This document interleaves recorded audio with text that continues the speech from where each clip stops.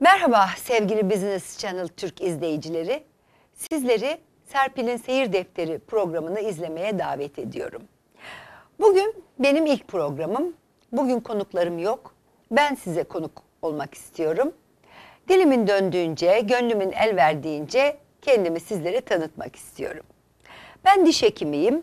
Diş hekimliğinin en gözde e, uzmanlık dallarından olan ortodonti uzmanıyım.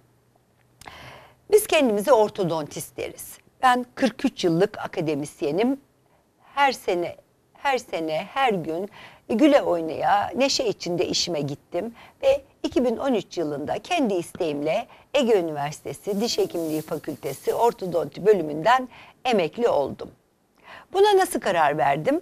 Buna şöyle karar verdim. Ünlü bir bankacının bir sözü beni etkiledi. Şöyle diyordu. Masadan kalkacağınız zamanı bilmelisiniz. Ben de zamanın ruhuna uyarak masadan kalkmaya karar verdim. Efendim, benim zaten bir işim var, vardı. 35 yıllık klinisyenim. İzmir'in güzel bir semtinde güzel bir kliniğim var. Hastalarımla mutlu mesut çalışmaya devam ediyorum. Çiçeği böceği severim, işimi severim, e, iflah olmaz bir hümanistim.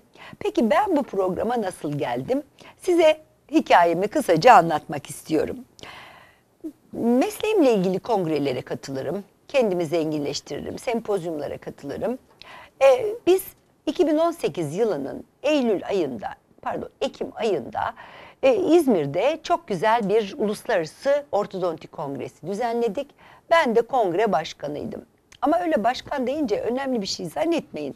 E, yaşım gereği başkanlık sırası bana gelmişti. Esasında kongreyi hazırlayan değerli başkanımız, Ortodonti Derneği Başkanı, yönetim kurulu üyeleri ve mutfağında çalışan değerli arkadaşlar çok şık, çok güzel bir kongre hazırladılar.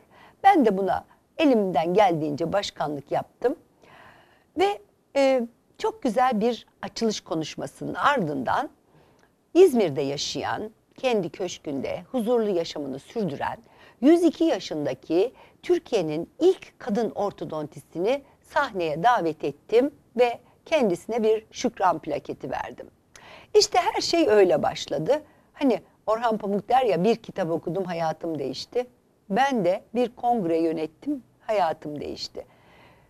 Medyanın ilgisi bu ıı, tanıtımdan sonra başladı. Ee, Birçok programdan davetler aldım ee, ve neticede bir akşam evimde yazıp çizip okurken e, posta kutuma bir mail düştü. Bir e, Business Channel'dan bir davet aldım. Sayın Sema Baysal'ın işkolik programına davet edildim. Açıkça itiraf etmeliyim ben bir iş kadını değilim. Ben klinisyenim, akademisyenim. Böyle bir iş kanalında ne işim olabilir diye düşündüm. E, biraz Google amcaya baktım.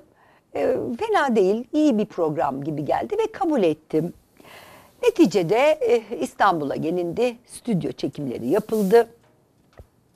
Burada çok güzel insanlarla tanıştım, çok hoşuma gitti. Programımız çok güzel oldu, güzel ses getirdi ve sonuçta bana kendi programımı yapmayı teklif ettiler. Gene beni bir düşünce aldı. Ben çünkü bir e, akademisyenim neticede. E, medyadan, medya sektörüyle fazla bir ilgim yok. Ne yapacağım? Formatım ne olacak? Konuklarım kimler olacak? Kanalda çok güzel insanlar tanıdım. Güzel bir program çekildi. Ve sevgili Ayşe Mayda sayesinde ben e, Business Channel'da bir e, program yapmaya e, karar verdim. Ayşe Mayda 1916 doğumlu. E, Türkiye'nin e, en eski diş hekimlerinden ilk e, yaşayan kadın ortodontisti. İzmir'de güzel bir köşkte, Latife Hanım'ın köşkünün yanında güzel bir köşkte huzurlu yaşamını sürdüren e, önemli bir aktivist. Savaş yıllarında e, Hitler Almanya'sından kaçan e, Yahudi profesörler e, sevgili Büyük Atatürk'ümüz tarafından e, Türkiye'ye davet ediliyor ve Ayşe Mayda da e, bunlardan biri olan Kantroviç'ten ortodontiyi öğreniyor.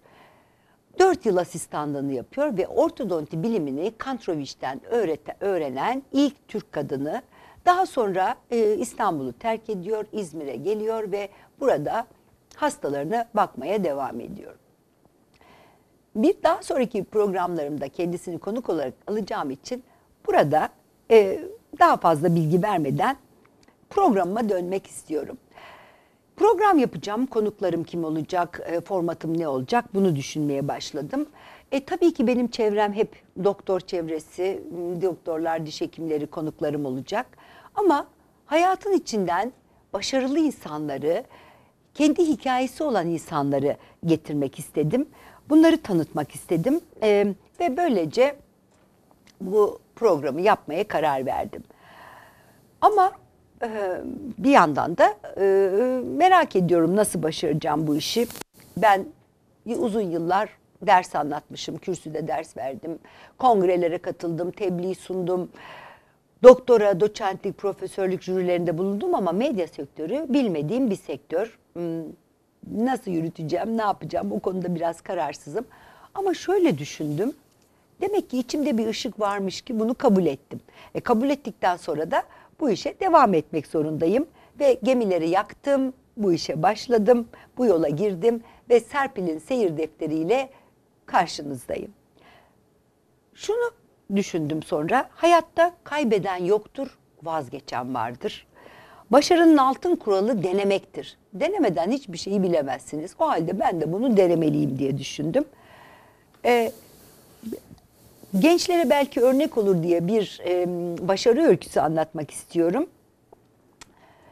Şu anda e, sanal e, alışveriş sitelerinden en büyüklerinden biri olan Ali Baba'nın e, kurucusu e, Jack May 30 defa iş başvurusunda bulunmuş, reddedilmiş.